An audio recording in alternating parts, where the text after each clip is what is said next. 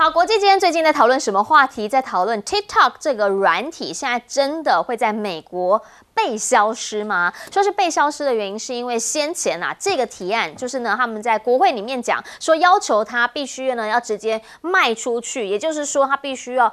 回到这个美国这边的公司来，不可以由这个相关，比如周寿资他们原本新加坡中资这边公司来，呃，直接掌控。那周寿资呢，他现在的讲法就是说，我真的。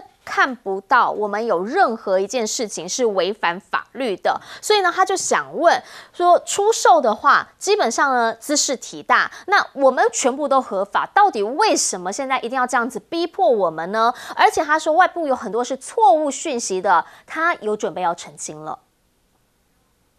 So this uh this is pre-planned. My trip to DC was pre-planned, and uh, there's a lot of misinformation out there, and I intend to clarify it. You know, there's a lot of noise, but I haven't heard, you know, exactly what we have done that's wrong. Um, as you know, it's very disappointing for us that the bill passed in the House of Representatives.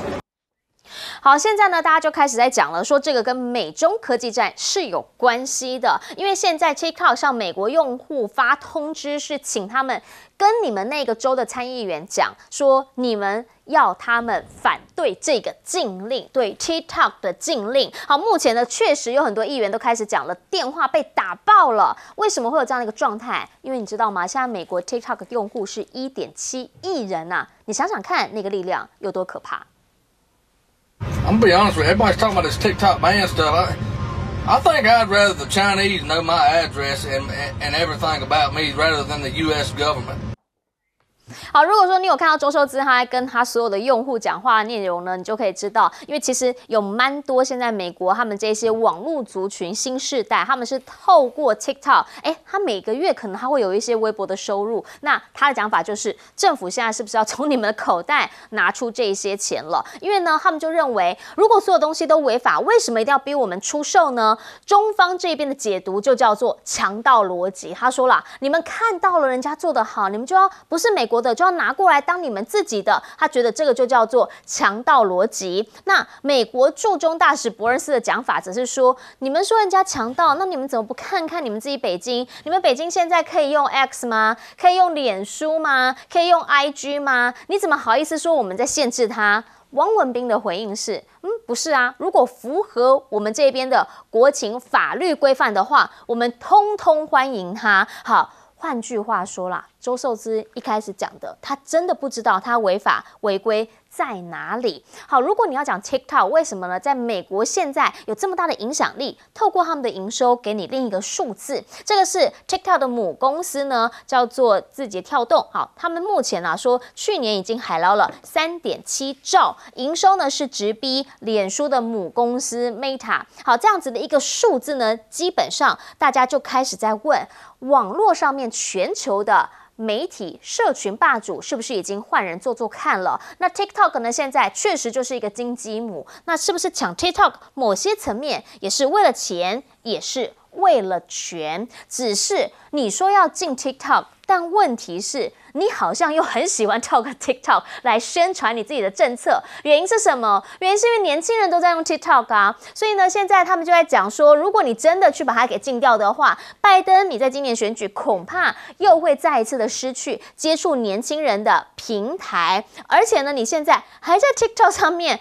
公布了你对于这个川普对应的一些竞选的广告，还获得了数千个赞，只是那个留言下面都在讲说，你都要禁掉人。家你还用人家来选举吗？大家想问的是，到底拜登你的立场是什么？现在呢，还有另一件事情，则是说呢，拜登现在抢年轻人票，如果抢不到的话。会不会回过头来来巩固他最坚硬的、坚实的那一块，也就是所谓的工人蓝领票？因为现在呢，他们就讲了，美国的钢铁公司现在基本上是由日本的新日铁公司呢，也就是在全球当中排名前段班的公司，要来给他收购并购。但是呢，拜登这个时候跳出来讲了，说一直以来我们美国钢铁公司就是应该由美国所拥有啊，这变成日本公司，这合理吗？这个我们无法接受。的，所以他这样子的一个讲法就是反对这个收购案了。那如果他真的反对的话，大家就问：真的美国就赢了吗？美国就再次伟大了吗？还是像专家讲的，这其实是让这家公司的劳工还有股东最后会沦为输家？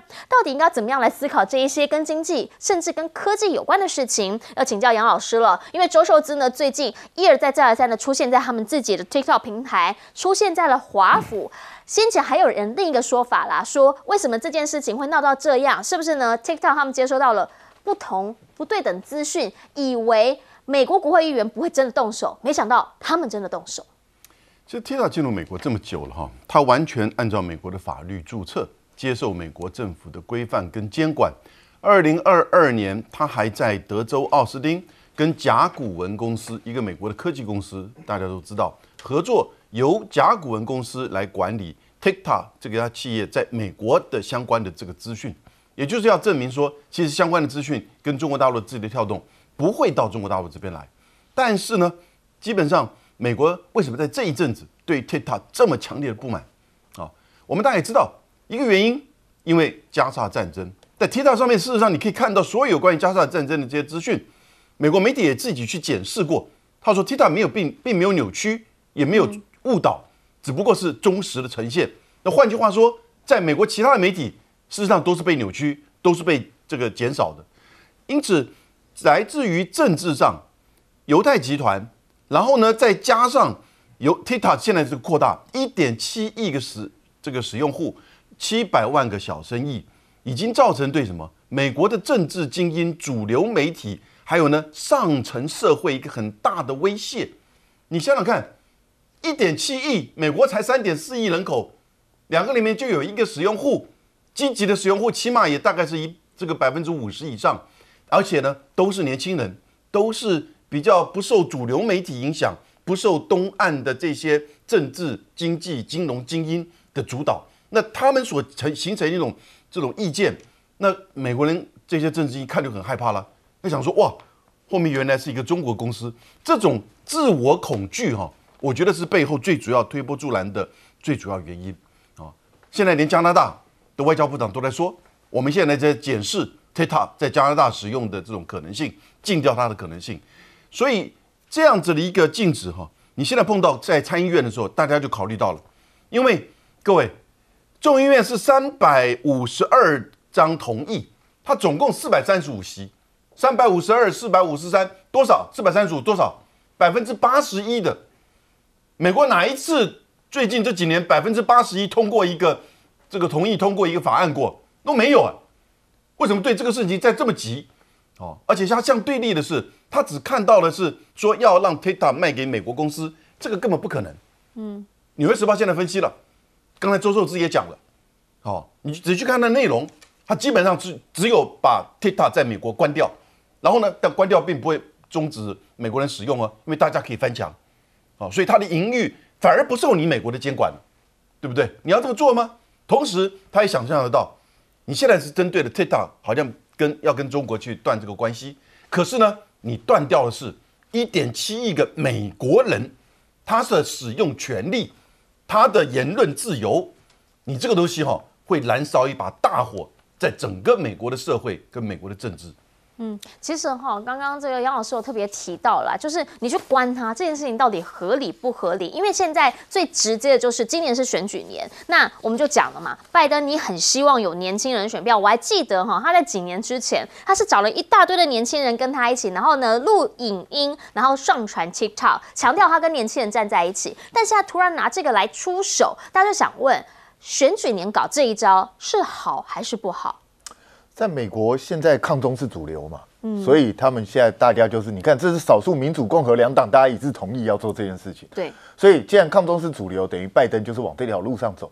可是我我觉得，你既然要往这条路上走，那最起码你要以身作则啊。可是你一方面宣称说你们要进 TikTok，最危险的就是因为它有治安疑虑，它会泄露你的机密。那你自己去登录一个账号，到底在干什么？我就不懂这到底什么意思啊？你你会去登录账号，表示你根本不在乎嘛？如果你总统都不在乎泄露治安的话，一般人为什么要在乎？这不是很奇怪的一件事，说不通啊！你你告诉我这个逻辑到底是什么？所以表示你会去那边登录账号，表示治安根本不是问题，那只是个借口而已。那真正是什么？真正在我看来，就是美国只要一个由我们美国人掌控的媒媒体一个平台，而不能由中国人掌控，就是这样子而已嘛。他要求就是这个嘛。那如果美国要这样做的话，你你们既然这样去指责中国大陆，那你你现在做法跟他有什么两样？你要不要干脆也学中国大陆弄个网络长城，以后也这样来弄好？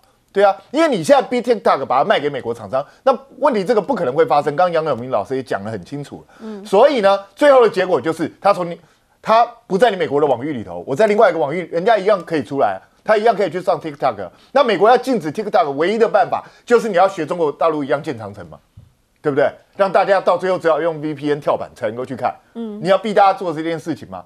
那问题这样做了之后，那美国还叫民主自由国家吗？你还好意思跟人家讲你是民主自由吗？而且更糟糕的是什么？你们过去一直批评说中国大陆是人治国家，没有法治。请问一下，你们在干什么？你们为了 TikTok 特别做了这样一个法案，这个符合美国哪一条法法律？完全不符合。那你这个其实在告告诉全世界什么？以后我美国只要我高兴，法治是不重要，只要我们这几个议员觉得这样做是 OK 的，我们就直接这样干，就是这样。没有法我也立个新的法出来。美美国就就给人家这样的感觉，就变成你美国就是这样的一个国家，我们随时随地看我高兴来玩，那这个对美国是一件好事吗？其实我我必须说，现在看起来整个美国在走向一个很奇怪的方向，就是一个想要掌控世界的门罗主义啊，这听起来是一种刚好互相矛盾的。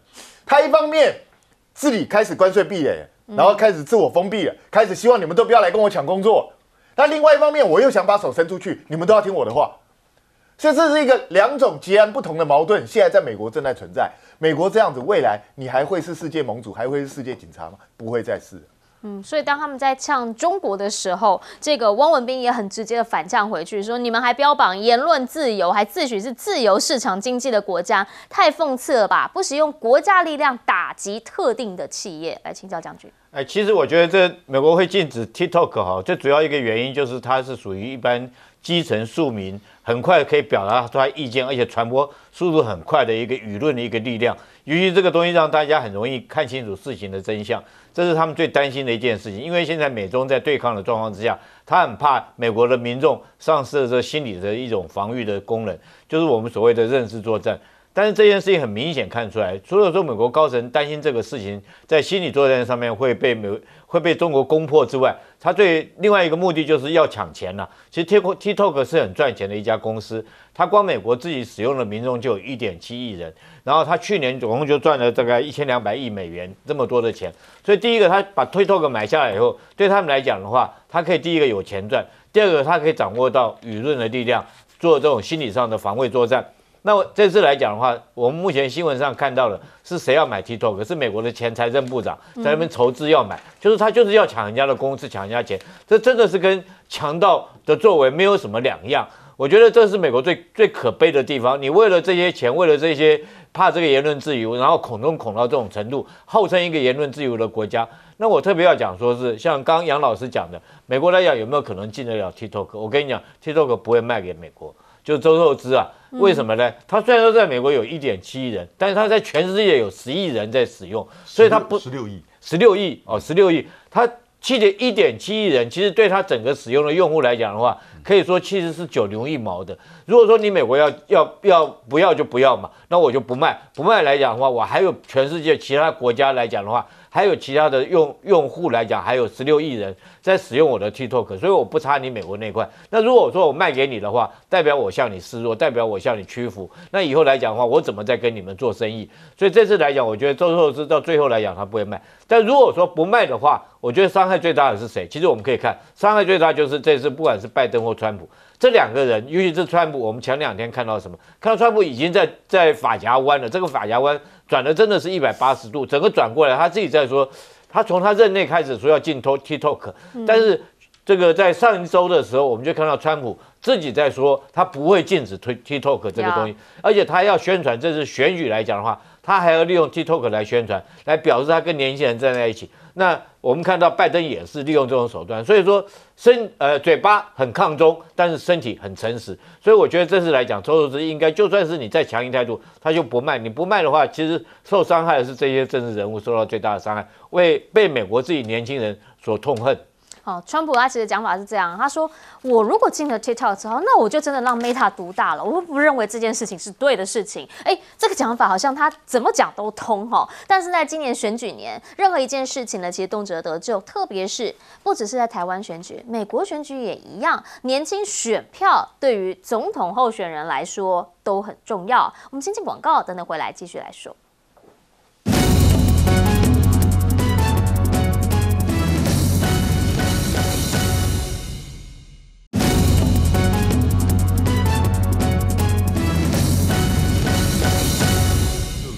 好，我们要来看一下美国。美国最近在讨论的还有什么？这件事情其实我们自己私底下来讨论很多。飞机啦，搞什么飞机啊？现在竟然外部的面板脱落了。好，这是。又是这个波音哈，现在呢是美国联合航空他们的客机在飞行当中，说已经降落的时候才发现说怎么少了一块外部面板？哎，你看那个洞就在这边，这么大一个，一百四十五个人坐在飞机里面，换句话说是一百四十五条人命啊！如果说你下飞机的时候看到这样，你会吓傻了。现在呢，彭博社的讲法就是美国联邦航空局要调查这件事情。好，这一连串不是。唯一事件，如果说呢，你这个台湾政政府最喜欢的讲法叫做系统性的事件啦，从三月三号开始，当时的那个天空的一击，大家就已经有吓到了。好，看看这个画面在 X 上面的，说呢，这个波音飞机在飞到一半的时候，突然之间，哎，一个雷击下来，刚刚好就打在飞机上面。好，当时呢，这个事件很多人关注，网络上面的转传率非常高。后来呢，隔天。看到了另一架飞机，说引擎冒火光。再后来是纽约，哎，纽纽西兰这边他们的总理呢被迫，因为呢他们的七五七有问题，所以被迫要换商业航班。然后再隔几天起飞之后，轮胎掉了，还砸中了人家车子，把人家挡风玻璃都砸坏了。三月八号就隔一天降落的时候滑出跑道了。还有一个是什么？突然之间呢从空中这样掉下来，哎。等于那个急坠的高度，让所有的人飞起来，五十个人受伤，甚至呢有轮胎胎压过低爆胎。最新的就是外舱板遗失了。你看看这几天下来，就已经有八起事件。光从三月到目前为止，现在呢这些事件造成股价也跌了大概百分之八点七三，市值的损失已经有来到了两百七十八亿多美金，接连出事。你跟我想的可能一样啊！我们前几天这个同仁已经有开始讨论了，我要怎么样才能知道我这一架航班我要去搭飞机是不是波音？真的有人在做这件事情了。英国的订票网站已经先推出了。避开波音机种的服务，因为真的你一直在看这些新闻会害怕。哎，欧洲的航空公司的这个安全局代理执事呢，也直接讲，有必要的时候他们要开始停止对波音飞机生产的间接批准。那现在呢，波音已经从这个股市上面的前段班调到了后段班。目前呢，说大家在问你们是不是已经放弃对于生命安全至上的追求呢？为什么会这样讲？因为有越来越多的信息，从以前到现在，告诉我们，他们好像对于安全这件事情越来越不在意。好，现在呢，他们就发现了三七三 MAX 为什么现在有这么多问题？原因是因为那个时候。已经有人有释出讯号，但是在那个当下都没有被处理。而现在美国联合航空呢，他们就讲了，那如果一直以来问题没办法解决，已经等你们那么久了，没办法解决，那我们决定不买了。现在呢，他们本来是买了两百七十七架，现在他们决定叫停，可能会转去买空巴。也因为这样，你看到了这些讯息所连带的就是波音的生意状况，现在生意不好，二月交。付二十七架，对比空巴四十九架是直接砍半的。大家想问的是，波音到底出了什么事？而现在他有没有办法力挽狂澜？网络上面对他信任度越来越低，甚至有人呢开始在做这件事情。哎。我真的是不知道哈，因为那个时候 X 平台确实有一个热门的贴文呐，他们提到说中国的 C 九幺九呢，在波士顿机场降落的时候发生事故，甚至起落架断裂。当时我们看到这个新闻的时候，觉得说这不是真的吧？因为 C 九幺九根本就没有飞美国啊。那可是呢，真的就有人上当了。一位这个印度的外交大使呢，他就发文嘲讽说：“哎呀，你看看这个就所谓 Made in China 等等等等等。”后来才发现那一架飞机哪是 C 九幺九啊，那一架飞机是七三七 MAX，所以大家开始在讲了，说是不是每一次只要出包的时候，大家都以为说啊那个是中国或什么？但您知道吗？现在美国制造真的是品质保证吗？回过头请教一下永明老师，因为这个真的是如果下飞机看到这样的话，我会吓傻、我刚刚搭的飞机真的是阿弥陀佛、哦，保佑我平安。不止一连串这个波音哈、这个不断的出事，那它的股价今年已经掉了百分之二十七啊，那大概在美国的这个就是大公司里面，它股价是掉的最多的，可能大概仅次于这个特斯拉。那在前两天十三号的时候，这个事情啊就引起美国全体的注意了，对于这个波音，有二零一九年有一个吹哨人，他在波音工作了三十二年，你知道他做什么工作？品管经理巴奈特。十三号的时候，他被发现到，就是法医的这个警察这边报告的显示说他是举枪自尽。嗯，好，可是怎么会？他的律师怀疑，他说他的精神状况很好，因为这几年从二零一九年开始，他离职之后哈、就不断的在控诉他是吹哨人嘛，像美国政府，好、就控诉说波音品管有问题，然后波音就告他，哦，他怎么说呢？他接受《纽约时报》访问，他说他在做品管经理，他发现有一些这个飞机上的飞行控制线上悬挂着一堆堆的这个金属片，这些薄片是这个紧固装入到螺母时产生的，并没有清除掉。他说这个人要清除掉，否则会产生安全上疑虑。结果没有改变，然后呢，波音把它换一个部门去，好、然后相类似的这个情况非常多。他是一个品管经理，他自己受不了，然后呢被波音告告告到这种程度，然后波音就开始不断的出现这些一连串的问题。我觉得其实波音啊，已经这个内部腐化到只是想赚钱，因为他现在这个高层已经都不是技术出身，也不是就是说从这个从下面上来的，纯粹就是美国的企业。各位了解，好、一方面这个飞机市场就是垄断的嘛，嗯，好、另方另外一方面呢，美国的大企业的这些 CEO 啊，其实跟着 TikTok 有关系啊。这些 CEO 的赚的钱是底下平均员工的几百倍，而他们就是要那个报表漂亮。至于说要花大钱去做一些长久的，然后不确定，甚至会影响到一些舆论，造成股它的股价变动，而影响到它的报表，使它的年终的奖金变少的，他绝对不会做，他丢丢给后面去。是一次又一次的这种情况，在日本的公司也有，就发觉类似的作假。可是问题是，波音你是在坐飞机耶，而且你是垄断的市场哎，大家以后真的要小心。英国那个那个网站呢、我觉得大家要来去多用一下。确实哈，因为我前几天真的我们就有在讨论这件事情，我怎么知道我搭的那一架飞机是不是波音啊？确实，为什么会有这样的想法？斌哥是因为我们每天在追国际新闻的时候，你就会发现，嗯怎么今天又有？哎，怎么今天又有？波音真的就是一直在出事啊！对啊，因为这个真的不是我们都要去刻意唱衰波音哦。你从不是说只有这几天出事，哎，是已经一两年嘞。这一两年就是你你固定的大概几个礼拜就会听到一次波音出事状况，然后今年是更密集，今年每一个礼拜都有。你看，我们已经连续讲了三四个礼拜，波音都有出事。所以如果你是乘客，你不会怕吗？我我真的我是我，我也会去想，我如果要坐飞机的话，最好不要坐波音的，因为我不知道会不会哪一天在空中突然之间又掉了个什么东西下来，谁都会怕嘛。所以我觉得波音到现在其实让我比较讶异的就是，这间公司照理来说，他为了挽救他的声誉，他应该赶快做出重大决定，比如说他立刻就说我现在呃要拿一些东西我开始暂时停飞，我要全面检测我自己的飞机。或是我我要做什么样一个重大改革，这样才能够挽回乘客对你的信心嘛？结果从你看最近一直不断在出事哦，而且是在全世界各地到处出事。对，那请问一下，波音做了任何反应吗？看起来没有，好像就是那是那些航空公司的事，不干我的事，可能是那些航空公司的状况。那我就想请教一一件事啊，如果真的只是这些航空公司的问题的话，那为什么空巴不会出事？嗯，大家几率应该是一样的啊。嗯，空巴卖的也没有比你少啊，对不对？那那奇怪了，照理来讲应该各半，就是空巴也会出事，你波音也会出事嘛？那为什么全世界各地都是波音在出事？是你告诉我为什么？所以，如果你没有办法告诉我为什么的话，那就是波音自己出了问题嘛。我一直认为波音这个东西哦，我我希望大家去查一查看，这些这最近这一整批就是各种型号出事，是不是都都是在同一个时间点出厂的飞机？也就是从那个时间点之后，波音的品质开始直线下降，因为这可能跟波音它改变内部政策有关。因为波音公司为了赚钱，所以呢，它改变了一些相关的 SOP 的过程，所以呢，对飞机制造生产的品质没有像过去那么严格，才会造成今天这样一个问题。我认为很可能是这个原因。而那个经理哦，我必须说，对，现在外界宣布，对警方对外宣布说他可能是轻生的。可是我告诉你，就算他真的是轻生的，这反而会对波音造成更大的伤害，因为。我讲实在话，他官司都跟你打到快要结束了，他前面不轻生，到最后这个关头才轻生，你觉得是发生什么事？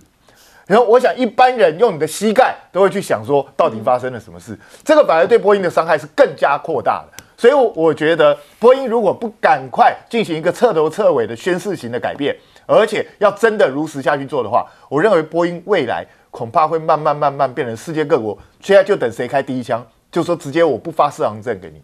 嗯，以后波音的飞机我不敢飞。嗯，那如果真的出现这一天，波音就会彻底完蛋。说实话，身为中华民国的居民，我现在最在意是我们买的那几架波音，现在还要继续买吗？因为真的有人就开第一枪啊，对不对？美国联合航空还是美国的联合航空哦，他们现在说把波音的订单先撤了，他们要买空巴了。哎，我特别要讲为什么波音跟空巴会差别那么大，你知道？其实我们很明显看得出来，空巴是在哪里组装？它不是在欧洲，就在中国天津组装的。它的生产线在中国天津有有它的生产线在那边。那美国波音公司很明显就在美国波音组装。那你知道美波音本身就是一家商业公司了。那商业公司最明显的一件事情就是要将本求利嘛。我要很好很好看的报表，对我要对我公司有交，对我的股东有交代，我必须要能够赚到钱。那怎么样才能够赚到钱？现在美国工人工资很贵，你要找到很好的技术工不容易找到，尤其是有些零附件，我又希望能够买到比较便宜的零附件。所以他们就跟谁买这些零附件？你知道，跟墨西哥买，墨西 Amigo，对不对？去做那些零附件。哎，我讲的是真的，他们所谓有案外包，就是从墨西哥那边来。但是我我必须要讲了，我们不可讳言的，就是墨西哥有时候民。民民人民的个性来讲的话，他比较天天性比较乐观，比较活泼，对不对？他是不是这么严谨的做事情？不敢讲。那是不是从墨西哥生产的这批零件到了美国波音？波音公司为了降低它成本，从墨西从墨西哥采购这批零件以后，组装到飞机上面。那组装的工人来讲的话，他又没有用那种很成熟、很资深的这些技工来做这些组装。然后这个不只是组装新的飞机。甚至于旧的飞机维修拆开以后再组合起来的时候，发现手里面多了一把螺丝，然后这把螺丝也不晓得是哪一个，他不可能重新再拆开，他要把这把螺丝丢到垃圾桶里面，所以我们才会发现说，他这些问题不只是硬体方面出了问题，对不对？软体方面，像那架突然坠下去，那是软体上面出了问题，那轮胎脱落、舱门脱落，这些完全就是硬体上面你的螺丝没有锁锁紧所造成的。那尤其是现在是什么？是面临这个中国 C 九幺九的竞争来讲的话，对他来讲有更大的压力。C 九幺九哎，原来出厂的时候一架的这个价格是九千九百万美元，那现在虽然说提升到一点零二亿美元，但是跟波音来讲的话，一点三亿美元来讲的话。在成本上面，在价格上面，它还是有很大的一个竞争优势。那对波音来讲，有这么大的一个这个价格上的一个差异来讲的话，它一定势必要更降低它成本。那怎么样降低成本？第一个节省工人嘛，第二个采购更便宜的零附件嘛。那也因此造成它层出不穷的这些事故，这个空安事故接接连不断的发生。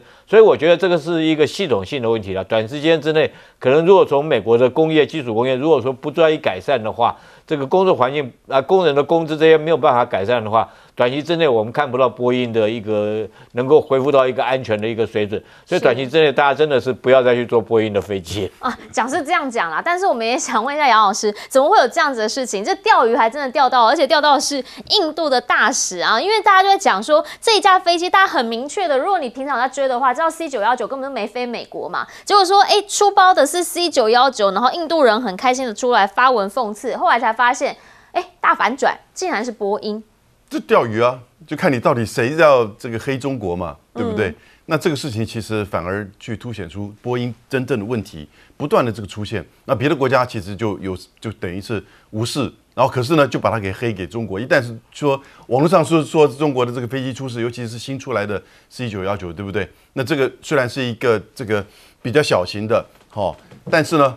呃，我觉得它的市场事实上这样，在中国大陆市场，在地这个开发那个南方，就是南方的市场是非非常大。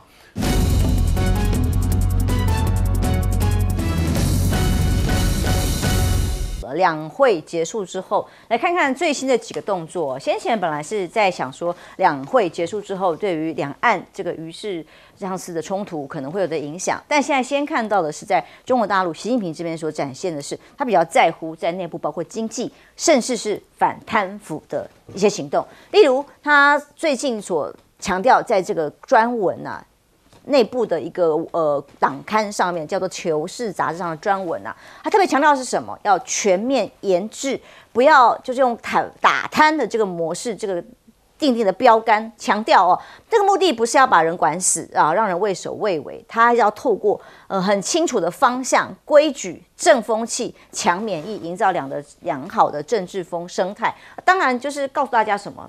反贪腐没有要停嘛？那这个动作越来越大，包括体育界啊反贪腐，连到学界，通通都是，包括了北京体大的书记洛马拉。三月十五号，中纪委网站通报说，北京体育大学的党委书记曹卫东哦，因为涉嫌严重的违纪违法，正在接受调查。而国家体育局的总局长高志丹也是哦，在两会闭幕之后表态称，坚决惩治体育领域的腐败，坚决打击。呃，打击假赌黑，马上这个书记就落马了，显示这个宣誓也是。波及到了更大的范围之内，包括陆军工系的这个董事长啊，重庆市副市长陈明波接董事长，这个是什么呢？现在中国现在正全力要发展最重视的航天科技，前董事长是吴彦生啊，结果卷入了军方设备的贪污腐败案，就被调带走调查。现在虽然还没有宣布被免职的消息，但是已经先由重庆的副市长来接任董事长啊。那中国国开行也是又有个高官。同样在金融界，高官也是同样的状况被检讨，而且更厉害的是，这个人呢，其实已经退休了八年了。这个是本来中国国家开发银行的原党委员、副行长李吉平，退休八年之后一样被追溯。然后之前被查的原副行长王用生也是退休五年了啊，所以通通被抓回来调查，你们是不是有当年的贪腐行为？所以。溯及既往，一个也不放过。好，看起来是目前在中国大陆官场的一个风气，就是要这样做。那三月十五号，李强大陆总理所主持的召开国务院的全体会议里面，还特别强调啊，要集中精力稳预期。稳步增长，所以稳是这二零二四年他们的重要的工作的字样。所以怎么样能稳呢？当然就是它接下来的关键啦。那北京悄悄推动的晶片脱钩，当然是中美这个围堵对抗里面的关键。怎么脱钩？那中国车企被要求尽可能使用国产晶片，现在也大力的研发当中，甚至包括了比亚迪啊、吉利啊，都由中国工信部直接下令要求多使用本地的来跟美国脱钩。但中美真的有办法单向的脱钩吗？当然很困难嘛。所以在美中科技合作协议被发现，一九七九年签的这个协议，本来今年的二月底到期了，看不出来双方有公开的谈要不要续约啊。但结果根据《华尔街日报》的报道。这两国已经悄悄续约了，还是必须要在美中科技上有个合作协定吗？虽然互相在围堵或脱钩当中，但其实像很多谍影重重的情况嘛，秘，比如秘鲁啊，呃，这个所谓的港口前海港哦。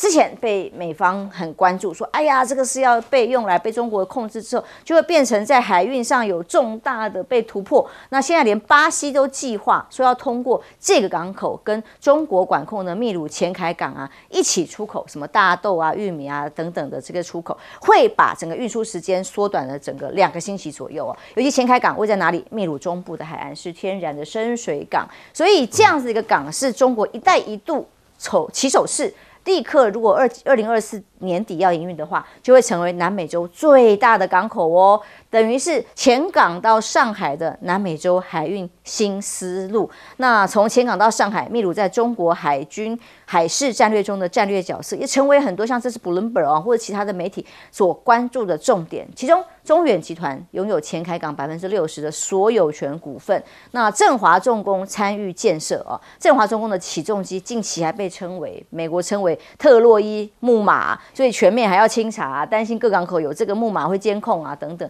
显然，在中美的合作跟对抗当中，有各种的 mega 悄悄的在各种合作跟竞争当中。亮哥，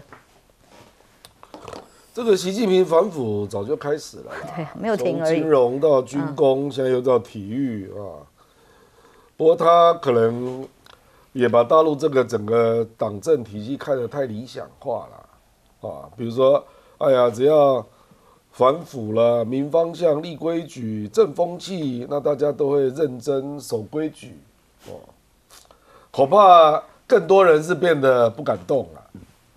这个事实上就看到这样的现象，就尤其是要涉及重大资源的决策，人性嘛你，会怕嘛？自保啊，你会怕嘛？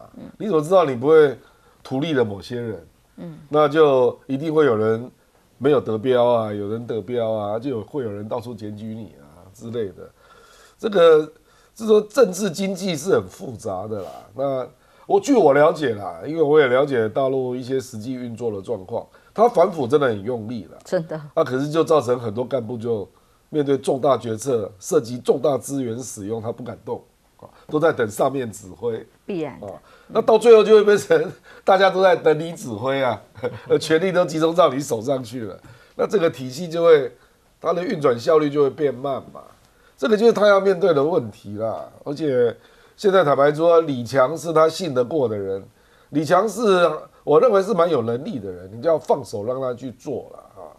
那李强也是认为要让民营经济动一动啊啊。那民营经济你也知道，你给他比较大的权限，那就会有一些灰色地带啊，这个很难免啊，这个没有办法啊。不过这个中国大陆这个这个他们这个叫三 A 计划了，删掉 America 的计划啊，就是 把那个三 A 计划把美国的重要零组件尽量不要用啊。事实上，电动车影响蛮大的、哦，电动车一部电动车大概要用要用上千个芯片哦，因为它很多功能都要用到晶片啊。那中国大陆显然是从华为开始就开始三 A 了，那叫全 C 了啊，都用 Chinese made 啊。这个这个，我认为也是他跟美国这个恶性竞争之后被迫自保，就只能走这条路了。因为美国动不动就是这个不行，那个不行啊，那个哎，英伟达、NVIDIA 也不行，AMD 也不行啊，都要降格出售。那我干脆自己做算了啊，所以可可能会越来越多这种局面了。说实在，不过美国也没有过头啦。比如说你刚刚讲那个科技协定，对呀、那个实际上是一九七九年就签的啊，那五年续约一次啊。那拜登再糊涂也知道这个不能断了，这个如果断了，连学界的自然科学合作都停了，这不得了的事了啊。所以我认为本来就会续约啦，只是说因为共和党嘛，哦，现在共和党是。什么惊人的案子都会提出来啦哦。共和党真的有人主张这个要断掉啊。哦，那至于那个昌凯啊，那个秘鲁中国经营的这个港口，中国现在这种港口越来越多了。我看过一个数据，大概二零二一年中国在全世界布局这种中资布局的港口大概就有九十五个啊。那美国当然就会担心嘛，说它是不是早晚都会变成军港啊？啊，是啊，我跟你讲，这个会不一定会有军舰啊，可是会提供军事单位做补给，这个很难避免的、停靠哦，啊，你看到那个巴西就是金砖国家嘛，是他就说，哎，那我就来好好利用这个港啊。这表示中国跟巴西已经走得更近了啊！而且今年八月金砖会议大概会开始那个启动更多的非美元支付啊。那我认为巴西会有蛮大的一块是用本币支付哦，哦，这个可能就不是用美元的了啊。所以这个大概就是一个大趋势了，那就在美国的后院，因为这个在秘鲁以北大概八十公里一个港口啊，美国看在眼里啊。早就盯很久了，那现在巴西就演给你看，就开始运作了。嗯，哦，所以类似的现象，可能未来你会不断看到这样的新闻出现了。嗯，当然现在看先着眼经济利益，未来就是美国担心的啊。那么中国大陆打打贪打贪腐其实很深很细哦，包括连宴饮啊、参会啊什么都管得很深。那以至于像这一波的各种所谓反腐的去抓到的人，甚至溯及既往退休，好像大家也都不会太意外。其实习在二零二二年二十大里面就提了很多啊，他求稳，他求安全啊。我们从其实我们看习的作为，我们还是要回推看他二十大的讲稿内容。全长三万五千字哈。他把过去十九大里面像改革开放、市场民主，他都少提。他特别强调，而且讲了非常多次安全啊，安全哈，创新还有斗争这几个是非常重要的词汇，在他的后来的施政方针，不管是在我们讲的这个人事的贪腐上面、金融稳定上面，还有所谓国内跟国外外交政策上面，他都求稳、求安全。比方说金融上面，他就大家的整改了这个 P to P 嘛。后来又建立了这个所谓的金融监管委员会，就是维持中国国内基本上金融的稳定，好，不管是线上或线下，再来就是房地产，它都要维持稳定。那当然，这个人事的这个部分，它也是不断的在加强，哈，这点是我们可以看出来。所以基本上求稳跟求安全是习在接下来都会在做的。我们来看这个前凯到上海，我是对这个比较有一些有兴趣的，因为前凯这个港口，哈，基本上它在第一年就花了十三亿美元，哈。而且呢，现在盖了大概四个码头跟一些小建附属建筑物，还没完全弄好，啊，大概二零二四年的最后一季会完成。那当然，这个接下来哦，听有一个说法是，它可能会有十五个港口，十五个码头，对不起，十五个码头，就是这个港口会有十五个码头，是很大的一个，等于是一个深水港的码头。然后呢，会有一个工业园区来进行所谓包括啊进出口贸易。那如果是这样，它总经费是三十四亿美元。它会成为南美洲哈太平洋岸的最大的一个深水港，这是非常厉害的。那如果这样的话，它的预计大概吞吐量是一百万个货货柜，好，那当然里面还有可能，接下来有人说杂货是六百万吨啊，车辆大概可以进出口十六万。那如果是这样子的话，它可以缩短啊这个很多从中南美洲哈要运货到。我们讲的亚太地区哈，没错的时间哈，现在基本上如果你货走这个南美洲哈，走的南美洲过去大概要三十五到四十天，但是它如果这个港口一旦营运哈完成然后营运，它大概可以缩短到二十五天到三十天的航运，这等于是缩短了成本。是，你缩短成本谁这种事情谁不做？啊是，这就我们可以回推说，那中国大陆在“一带一路”的基础建设上面，他们要做的是什么？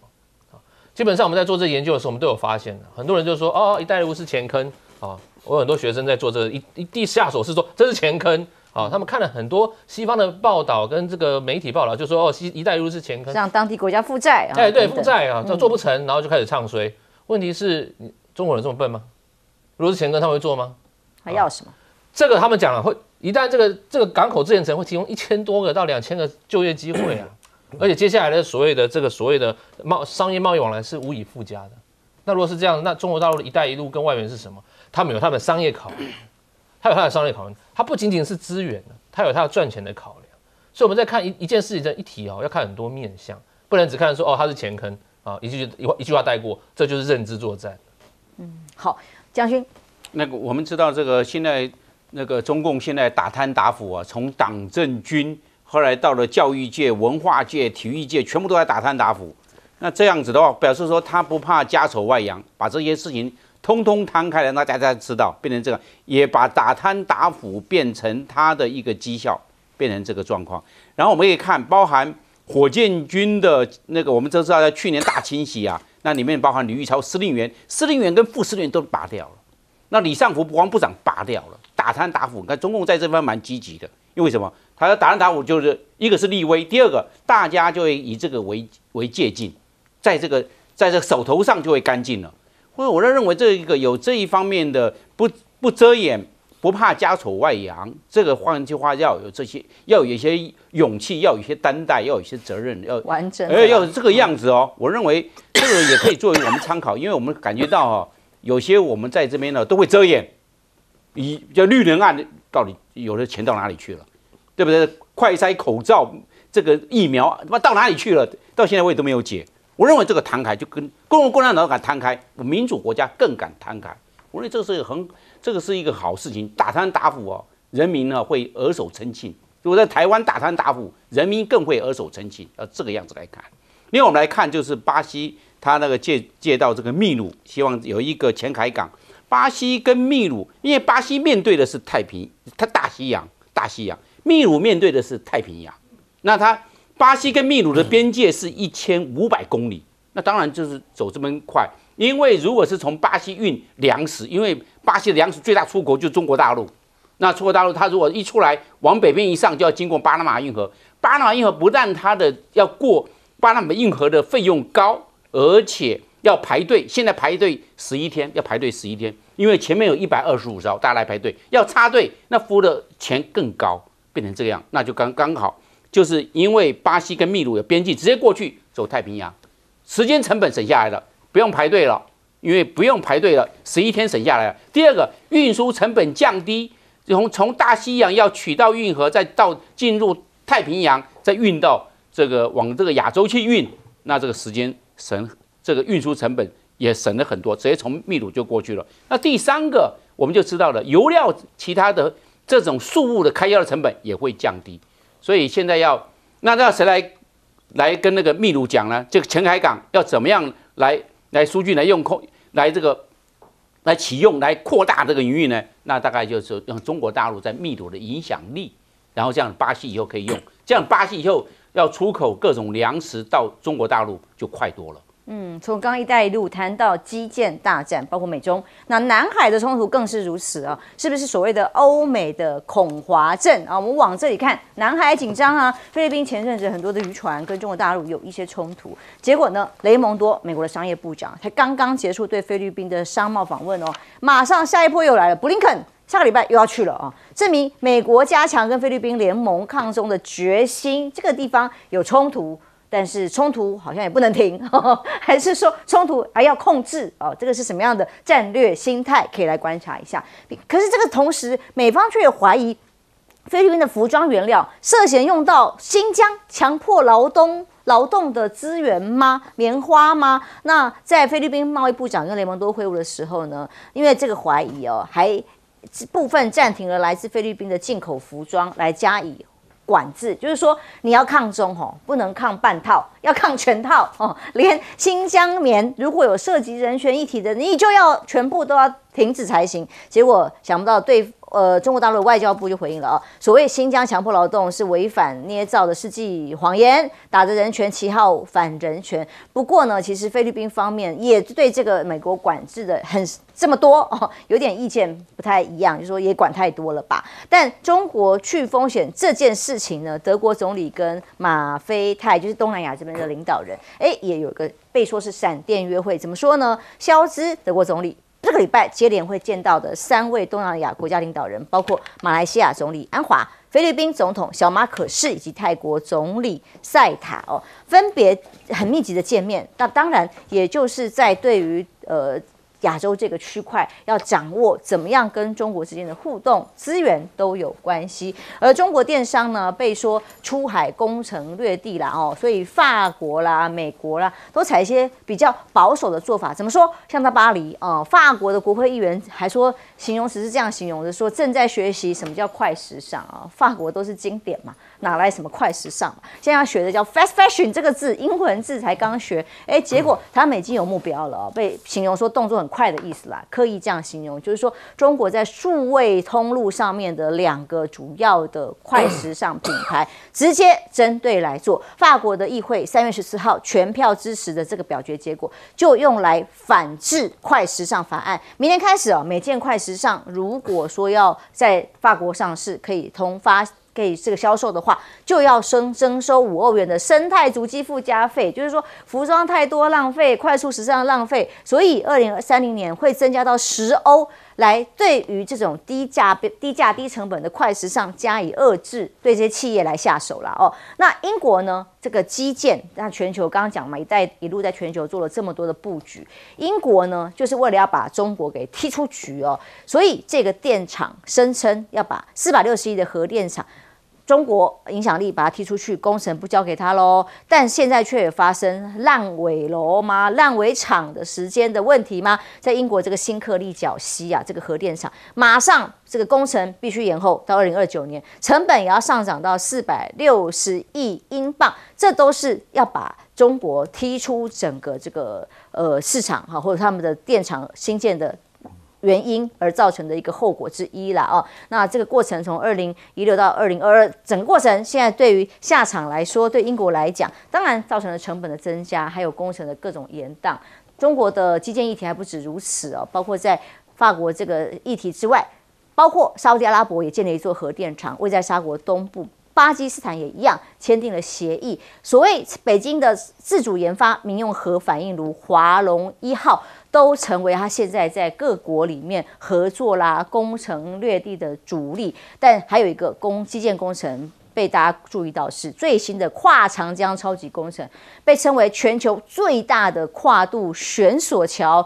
主塔完成哦，这个所谓的张敬高 长江大桥啊，它厉害了，看起来很长很大，它真的很长很大，两千三百米哎，南航道的桥哈为主桥，那跨了几个经度，包括了三座长江大桥，所谓八龙过江啊，就是要把所谓的各地这个跨度全部跨在一起，让这个苏州、杭州这里的泰州跟南通全部打通，让。这个当地的标志性建筑也成为世界的超级工程，这种工程的难度都很高了哦。但显然，我们从刚一带路一路一路谈起嘛，那各种的基建工程都成为像欧美国家想要防堵，却产生了很大的困难的一个关键力量。亮哥，我觉得菲律宾抗中可能会白忙一场啊。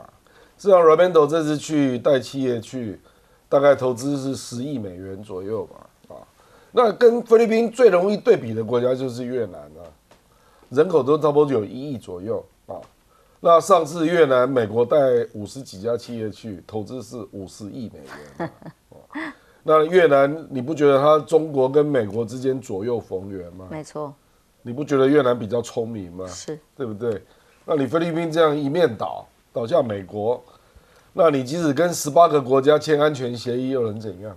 因为你跟中国实在落后落落差太大了啦，你不管是仁爱礁、黄岩岛，你也使不上力啊。然后最需要的基建却因为这样就停止了。那中国现在还要去越南北部去帮他盖货运铁路，对不对？所以我是觉得，到底要怎么做抉择啦？我觉得小马可是实在是看得太单向了哈。那这个你刚刚讲那个 fast fashion 啊，因为那个西印啊，还有 Temu，Temu。事实上，背后就是拼多多了啊。对，那这两家公司，坦白说，把那个我们讲快时尚，快时尚的代表就是 Uniqlo 跟 Zara。那结果他现在，因为这个吸引实在是太便宜了，便宜到事实上我认识非常多的小 小编呐，女主播每个人都在买吸引。台湾也是啊，台湾也是啊，实在是太便宜了啊。所以欧洲人当然就怀疑说你是不是有血汗工厂，是不是有不遵守环保的规定，所以他就要给他征每一个每一件商品就是五欧嘛。嗯，他说这个叫做什么？叫做生态足迹附加费，不然他没有办法竞争呢。而且我看那个他的广告，每个人收到都是一大袋这样，里面一大堆东西这样，便宜的不得了。因为坦白讲，我也上去 shopping 了一下，你也买到这 东西真的是实在是太便宜了。然后品质如何？而且不是只有衣服啊，不是只有衣服，真的什么都有，配件什么都有。那 Temple 事实上直接挑战到美国的亚马逊，哦，这个是美国比较在意的。事实上我们讲了，抖音啊，就是 TikTok，还有吸印。还有 Temu，它这个叫做 TTS 啊，嗯，这叫做在美国崛起的三个中国的电商，现在美国是头痛的要命，嗯，所以他现在是先对 TikTok 出手，那接下来对这个西印跟 Temu 不知道会怎样，还有待观察了。不过你可以看到欧洲现在就已经动起来了，就是它它再这样下去，它大概很多那个。民生用品的一些零售店都会受到冲击啊，就这样。那这冲击之下，价格哦，对于物价都会产生冲击。休息一下，马上回来。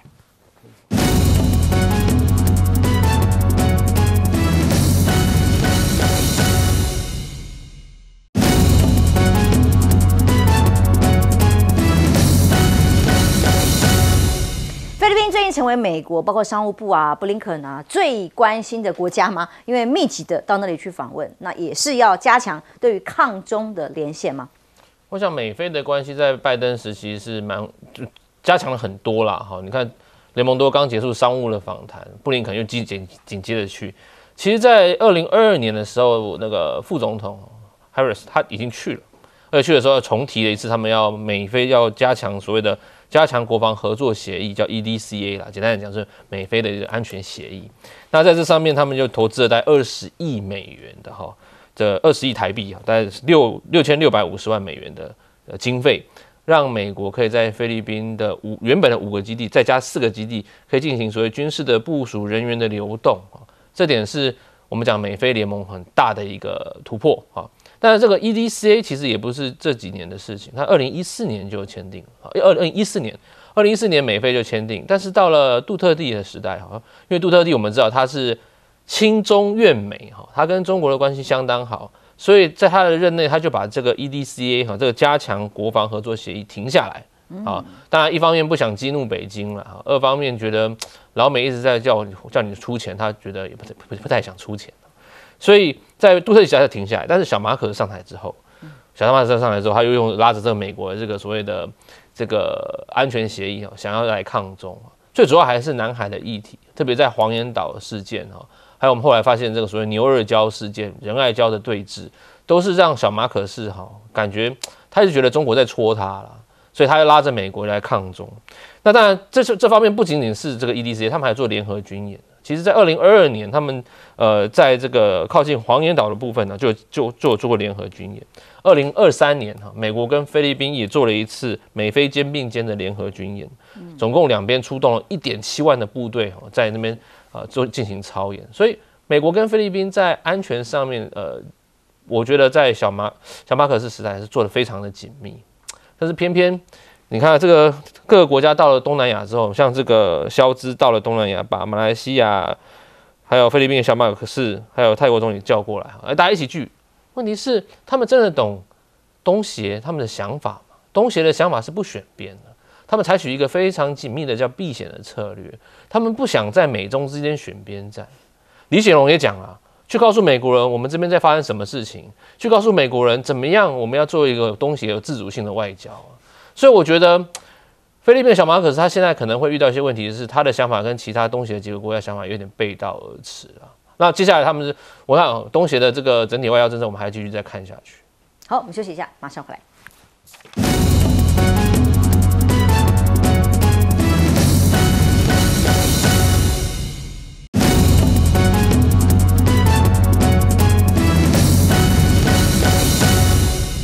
美要抗中，其实这个范围越来越宽广哦。从这个民生啊、经济啊，还不只是半导体而已。菲律宾这里当然也会是重中之重。对，菲律宾跟中国大陆因为地缘近，而且菲律宾对中国大陆来讲是贸易逆差，它买中国大陆买的多，包含电信设备、通讯设备，包含包含钢铁，也包含工工工具机，就是生工厂在生产的那个那个机器那个母机，也是向中国大陆来进口，也包含了一些电子的产品。那这样子的话，就菲律宾向中国大陆买的多，那中国大陆为什么它东西比较便宜？那菲律宾的，国民所得低，他们年均的国民所得大概每一个人平均只有三千七百块美元，每个人消费力是很薄弱的。如果买欧洲的产品、买日本的产品、买美国产品贵，买不起；买中国大陆产品，哎，好像比较大众化的这种价格。所以菲律宾对中国大陆的贸易依赖那一直存在的。那他现在如果要转向，没办法。最重要，它的消费力，那个菲律宾的消费力非常的薄弱。就是最问题是它是低所得嘛，所以菲律宾跟想要中国跟中国大陆切断这种贸易的关系哦，没有办法，还是要依赖。另外一个，菲律宾外销的这些最大宗的香蕉啊，还有椰子啊，最大国家就是面对的中国大陆。中国大陆市场大，它就是吃这些东西，需要这些农产品。